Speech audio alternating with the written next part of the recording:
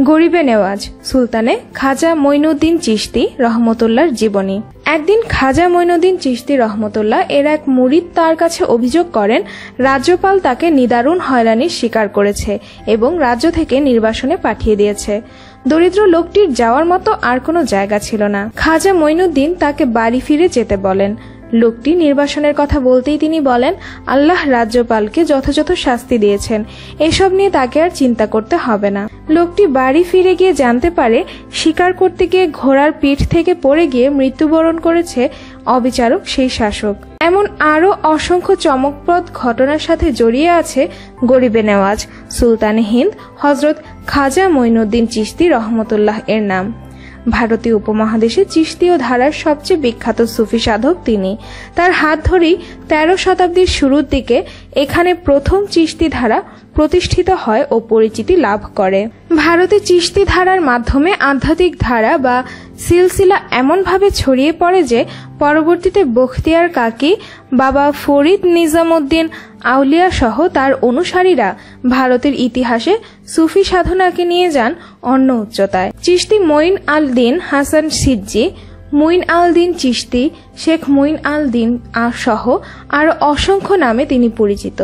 জানা যায় এগারোশো একচল্লিশ খ্রিস্টাব্দে পাঁচশো ছত্রিশ হিজড়ি পূর্ব পারস্যের সিস্টান রাজ্যে জন্মগ্রহণ করেন খাজা মঈনুদ্দিন চিস্তি রহমতুল্লাহ।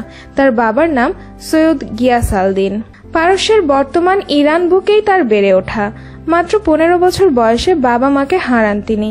উত্তরাধিকার সূত্রে বাবার কাছ থেকে একটি উইন্ড মিল এবং ফলের বাগান লাভ করেন তিনি। কথিত আছে, একদিন তিনি তার ফল বাগানে পানি দেওয়ার সময় বিখ্যাত সুফি শেখ ইব্রাহিম কুন্দুজি সেখানে উপস্থিত হন। কিশোর মঈনুদ্দিন তাকে দেখে চমকে যান। কীভাবে তাকে আপ্যায়ন করা যায় তা নিয়ে তটস্থ হয়ে পড়েন। এরপর তিনি নিজের ফল বাগান থেকে কিছু ফল নিয়ে কুন্দুজির সামনে পরিবেশন করেন।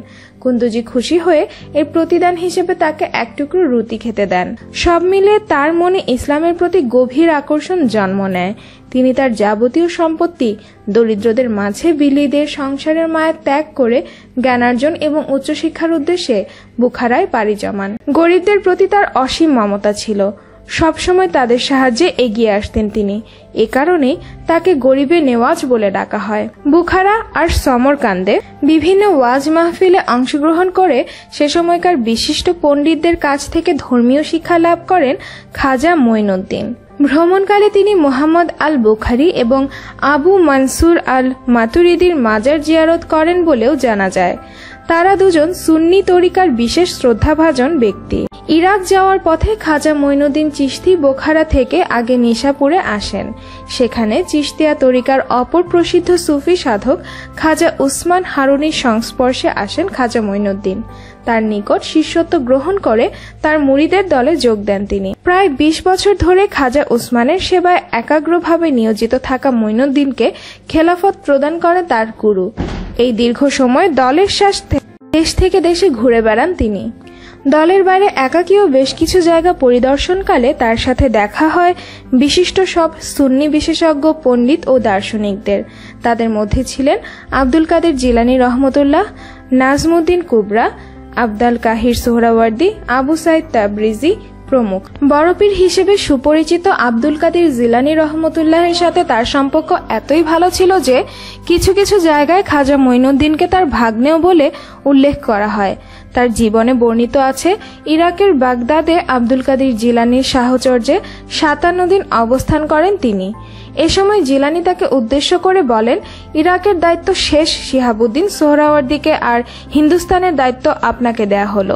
সে সময় Baghdad, Tabriz Isfahan Balkh, Ghazni আস্তানাবাদ সহ মুসলিম সংস্কৃতির প্রায় সব বিশাল কেন্দ্রই তিনি পরিদর্শন করেন, যার ফলে তার জ্ঞান ভাণ্ডারে মধ্যযুগীয় মুসলিম জীবনের প্রায় সব তথ্যই সন্নিবেশিত হয়। ত্রয়োদশ শতাব্দীর শুরুর দিকে ভারতের দিক উদ্দেশ্যে যাত্রা শুরু করেন তিনি।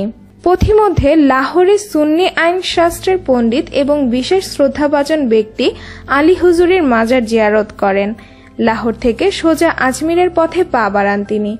আজমিরে এসে তিনি বিয়ে করেন। সপ্তদশ শতাব্দীর ঐতিহাসিক আবদাল দিলহায়ের মতে খাজা মঈনুদ্দিনের দুজন স্ত্রী ছিলেন। বলা হয় স্থানীয় হিন্দু এক রাজার কন্যাকে তিনি স্ত্রী হিসেবে গ্রহণ করেন। আবু সাইদ, ফখর আল দিন এবং হুসাম আল দিন নামক তিন পুত্র আর বিবি জামাল নামক এক কন্যার পিতা ছিলেন তিনি। ভাই বোনদের মধ্যে শুধুমাত্র বিবি জামালি বাবার সিলসিলা রক্ষা করতে এগিয়ে আসেন এবং স্থানীয় সুন্নি তরিকার দিকপাল হিসেবে পরিচিতি লাভ করেন। আজমিরে স্থায়ী হওয়ার পর চিশতি তরিকা আরও সুদৃঢ় করতে এবং তার ব্যাপ্তি বাড়াতে তৎপর হন খাজা মঈনুদ্দিন চিশতি রহমতুল্লাহ। তার হাত ধরে ভারতে বহু মানুষ ইসলাম ধর্ম গ্রহণ করে। তার একটি বিখ্যাত গ্রন্থ রয়েছে যার নাম আনিসুল আরওয়াহ। বিভিন্ন ঐতিহাসিকদের বর্ণনা থেকে পাওয়া যায়, খাজা মঈনুদ্দিনের সদয় আর নম্র ব্যবহার স্থানীয়দের মন ছুঁয়ে যায়। দিল্লিতে চিশতিয়া তরিকার প্রসার ঘটাতে বখতিয়ার কাকিকে নিযুক্ত করেন তিনি। খাজা মঈনুদ্দিনের সাথে সম্পৃক্ত আরেকটি অলৌকিক ঘটনার কথা এখানে বর্ণনা করা হলো। হজরত খাজা মঈনুদ্দিন চিস্তি রহমতুল্লাহ তার কয়েকজন অনুসারীকে সাথে নিয়ে আনা সাগর নামক এক খালের পাড়ে স্থায়ীভাবে বসতি স্থাপন করেন। মহান সুফি সাধকের অনুসারীরা সেখান থেকে পানি সংগ্রহ করতেন, মাছ ধরতেন আর মাঝে মাঝে আনা সাগরের পারে গরু জবাই করে খাওয়ার ব্যবস্থা করতেন। সে সময় ভারতবর্ষের শাসক ছিলেন পৃথ্বীরাজ চৌহান। ইসলাম প্রচারের জন্য বাগদাদ থেকে হিন্দুস্তানে চলে এসেছেন বলে এমনিতেই তার উপর কিছুটা রুষ্ট ছিলেন রাজা। কাজেই আনা সাগরের পারে অবস্থিত মন্দিরের পুরোহিতরা যখন এমন অধর্মের বিরুদ্ধে রাজার কাছে নালিশ জানালেন, তাৎক্ষণিকভাবে চিস্তি রহমতুল্লাহকে তার অনুসারীদের নিয়ে চলে যেতে বললেন রাজা।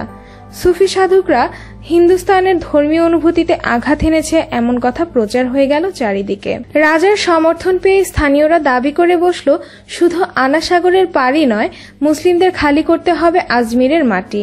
আজমির ছাড়ার এই হুকুমে কিছুটা নাখোশ হন মঈনুদ্দিন চিস্তি রহমতুল্লাহ। তিনি হজরত মোহাম্মদ সাল্লাহ আলাইসাল্লামের প্রদর্শিত পথ অনুযায়ী মহান আল্লাহর ইচ্ছায় আজমিরের মাটিতে পা রাখেন। সেখান থেকে তাকেও তার অনুসারীদের তাড়িয়ে দেবার এমন চক্রান্তের কথা শুনে যারা তাদের বিরোধিতা করছিলেন, তাদের প্রতি বিরূপ মনোভাব সৃষ্টি হয় এই মহান সুফি সাধকের। আনাসাগরের পার ঘিরে ছিল বেশ কিছু মন্দির। সেসব মন্দিরের পুরোহিতরা খাজা মঈনুদ্দিনকে মেরে ফেলার উদ্দেশ্যে আক্রমণ চালান বলে জানা যায়। হজরত খাজা মঈনুদ্দিন চিস্তি রহমতুল্লাহ কিছুটা বালি হাতে তুলে নেন আর ক্রুদ্ধ ব্রাহ্মণদের দিকে তা ছুড়ে দেন। এতে কয়েকজন চোখে দৃষ্টি হারান আর বাকিরা সেখান থেকে দৌড়ে পালান। রাজার কানে যখন এই কথা গেল, তিনি প্রচণ্ড বিরক্ত আর হতাশ হয়ে পড়লেন। মুসলিম ফকির এবং তার অনুসারীদের বিরুদ্ধে কঠোর এক সিদ্ধান্ত নেন তিনি। ব্রাহ্মণদের অনুরোধে তাদের জন্য আনা সাগরের পানি ব্যবহার নিষিদ্ধ ঘোষণা করা হয়।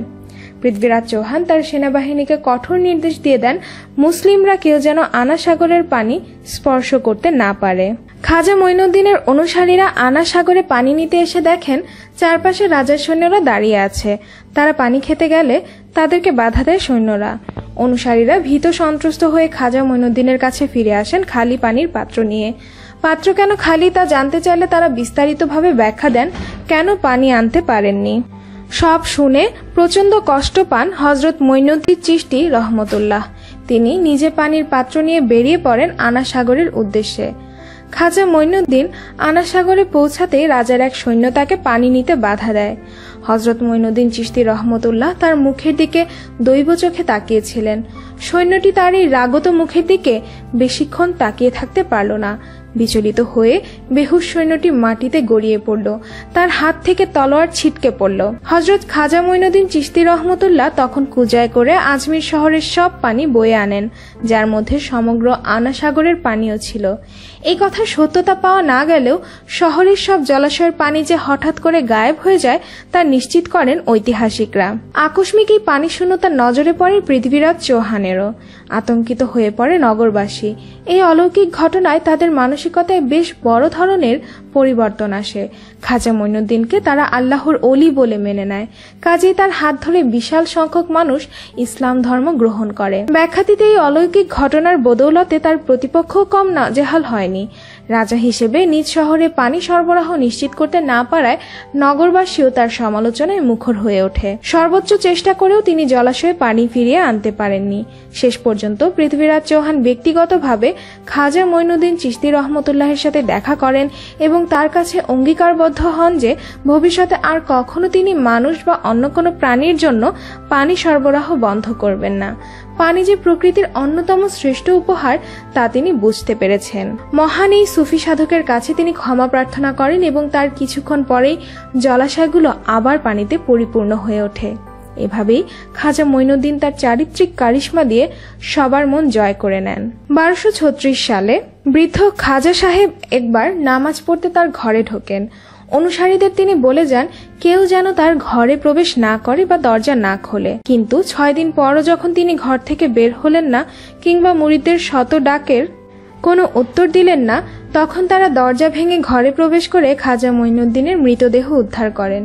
এ কারণেই প্রতি বছর আজমির শরীফে পহেলা রজব থেকে ছয় রজব টানা ছয় দিনব্যাপী তার মৃত্যুবার্ষিকী বা ওরস পালিত হয়, সঠিক তারিখটি কেউই জানে না বলে। মৃত্যুকালে তার বয়স হয়েছিল সাতানব্বই বছর। ছেলে খাজা ফখর আল দিন চিশতি তার জানাজার নামাজের ইমামতি করেন। তার মৃতদেহ আজমির শরীফে দরগাহে দাফন করা হয়। মুহাম্মদ বিন তুঘলক সম্রাট আকবর সহ আরও অনেক নামজাদা ব্যক্তি তার মাজার শরীফ জিয়ারত করতে আসেন।